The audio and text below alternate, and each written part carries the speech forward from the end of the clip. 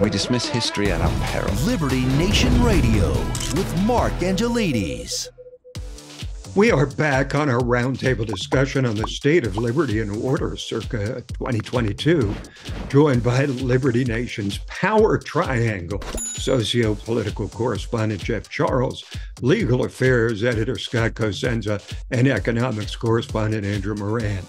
So, Andrew, let's discuss economics. $30 trillion in national debt for the United States of America. That is an affront to the liberty of future generations. We're going to have to pay it off. Is it more one party or both who have allowed this to spiral out of control? And can we reverse this curse? And if so, how? Well, first, it's not just $30 trillion, it's also $120 trillion in unfunded liabilities yes. and expenditures. Important but both point. parties have been atrocious on the national debt issue. Bush doubled the national debt. Obama tripled it. Trump accelerated this growth. Biden is just maintaining the status quo. It's a joke at this point. I mean, you, you look at look when Bush was in power. Democrats would complain about the national debt and we're not going to raise the debt ceiling. Then Obama took power. The Republicans, they're the ones who complained about the national debt and said, "Oh, we're not going to raise the debt ceiling." Trump took office. Democrats complain. Biden's in power. Republicans complain. So it just it's just it's it's it's it's kicking the can down over both parties, and they've done a masterful job at that. Now, can you reverse course? Most likely not. I mean, you look at the 2010 or 2011 sequester. You know, Republicans, Democrats, they reached a deal whereby they cut $85 billion in spending. But at the same time, the rate of uh, debt growth accelerated. So only in Washington can you have a spending cut while the national debt still grows. Right. So overall, there's no way of reversing anything. The issue is going to get worse. And now you have rising interest rates and just gonna, that's going to compound the problem and lead to, you know, eventually long term, you're going to have to make all these sacrifices that I'm not sure politicians are willing to make.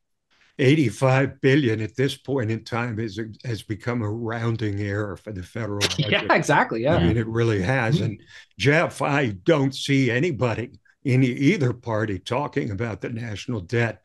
We used to call it a ticking time bomb. They have the national debt clock, which you really have to avert your eyes to realize the kind of debt the country is piling up. But why is it that nobody wants to even discuss uh, the national debt, not to mention making it a central issue. You know, I think it's it's because people don't think that they're going to have to deal with the consequences of it. They think it's going to. That's why the can keeps getting kicked. You know, people talk about there being a uniparty. Not if there was one issue that would be the best to prove that with. The best evidence that there is a uniparty is the national debt, because just like Andrew so expertly explained, both parties have done it. And it's not even that, like, you can say one party is worse than the other. That's, that's not even the case. They both work together to continue blowing out the debt. I mean, I remember when I was younger in my 20s, that was always a big deal. Oh, we got to deal with the debt, deal with the debt. Now the government didn't really care about it, but at least people uh, on the on the airwaves and interwebs would pretend to care about it. You know, we get these people in there, they do nothing about it. Nobody talks about it. I think that right now, us having this conversation is probably the only political outlet that has talked about the debt since like 2010. Indeed. Tim, Tim, if I may just make one, make one point before, before you uh, go to Scott, there's actually one person in Washington who's actually discussed the national debt every single year, and that's Rand Paul. Ever since he's arrived to Washington, every year he's proposed a balanced budget amendment, and Republicans continually deny him that. I remember one of the latest ones, he said, let's balance the budget in a year. Lindsey Graham went ballistic and just kicked him off the Senate floor. I said, "Oh, you know, you're you're an ally of Putin if you want to balance the budget." So Rand Paul, oh, give kudos to him there. He's one discussing it. So Scott, yeah. uh, I think it, because because because what Vladimir Putin wants is for us to balance our budget. I'm, I'm sure that's exactly what he wants. So Scott, I think it was in 1964 that Barry Goldwater said, "There's not a dime's worth of difference between the parties." Or maybe it was George Wallace. I forget. But the point is that, you know, we're in a bipolar sort of political climate, always have been, two party system. How much difference do you see between the parties? Is it a dime's worth of difference or not even a dime? Uh, probably not on the debt issue. And I just want to quickly answer your original question. You you said that this is a you know uh, it's outrageous to to kind of saddle future generations with this, Tim. And I think that uh, both that you're right, and also that they won't be saddled with it. That you know we've already uh, got declining birth rates, so be below the replacement rate, and in in two generations or maybe three, uh, when the debt service on that debt becomes more than anybody could spend on anything else, they're just going to say, you know what, you loan these baby boomers and these Gen Xers and whoever else is this money, get it from them. We're we're not paying. So whether that means they go to a, a different currency or inflate the dollar to where you know you have to carry a truckload around to buy a stick of gum. There'll there'll, there'll be some way to get out of it, I think, uh, and uh, or or just the collapse of the country. But but I don't think that future generations will be saddled with it. I think they'll duck out. Well, actually, there will be a solution by just printing half of the nation's money supply, just paying off debt that way, and then having a currency crisis. So I guess that's that that will be the solution, Scott.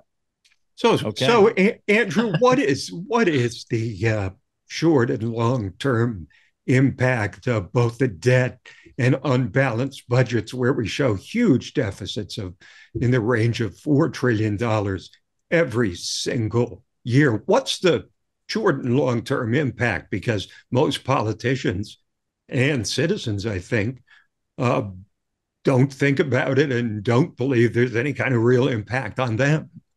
Well, short term, I mean, you're already starting to see it. The the interest payments are about 400 to 500 billion dollars a year. That's more than some of the some, some of the Washington uh, departments have.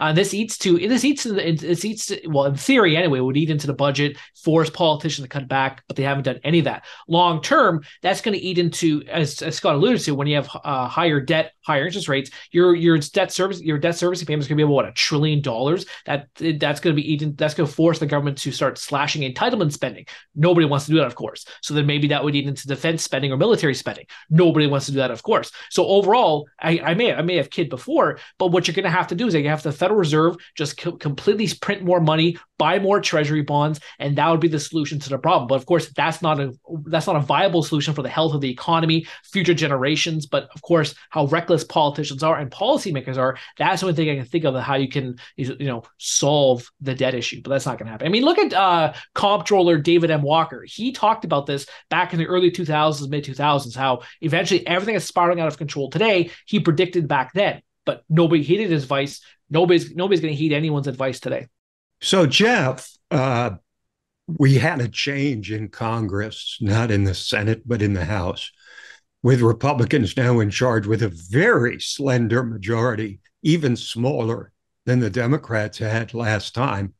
But they control the purse strings now. So, do you think the Republicans are going to pretty much shut down the spigot on spending? Uh, or are they going to go along to get along thinking that in 2024, since people seem to care more about order and spending than liberty, that they're going to go in another direction? my, my laughter is my answer. I mean, yeah, of course they're not. I mean, they're going to talk a big game and then they're going to get into office just like they always do. I mean, that's how they get elected. I mean, Republicans and conservatives have been going. We've seen this movie before, right? I mean, they've been going through this for for decades. So I don't expect them to do much. I, I expect them to do something, you know, posturing wise, and maybe they'll take some action here and there. But in general, I don't think that Republicans are going to be serious enough to actually do much to uh, put a stop to the agenda here. I mean, I guess one thing that Republicans can take solace in is that it will be harder for Biden and the Democrats to push the the more radical elements of their agenda through. But as far as overall change, I wouldn't expect to see a whole lot the Republicans already said that they're not going to go over this certain amount. So I think Biden he wants about 1.7 trillion dollars in new spending, and the Republicans said, "Sure, but we're not going to go over that amount." So they're, already laying out their cards. It's ridiculous. The GOP line in the sand.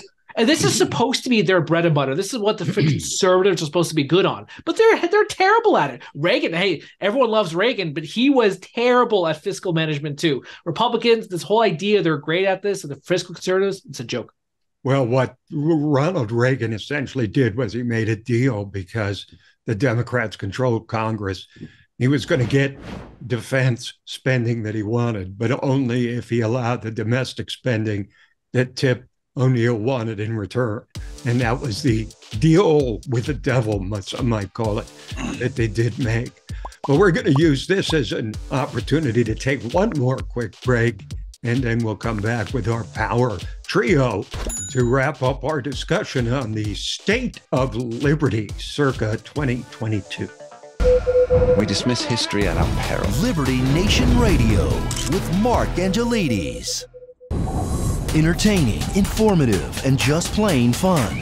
Watch Liberty Nation's The Conservative Five. Produced by conservatives for conservatives. C5's The Left Free Zone. Hosted by Liberty Nation's Hi, Lisa, Leesa K. Donner. Joined by a raucous, irreverent panel MAGA of authors. Friendly. Deconstructing leftist narratives. Debating the hot topics. and remembering to laugh. Join the official conservative safe space. did that to piss Jeff Liberty Nation's The Conservative Five.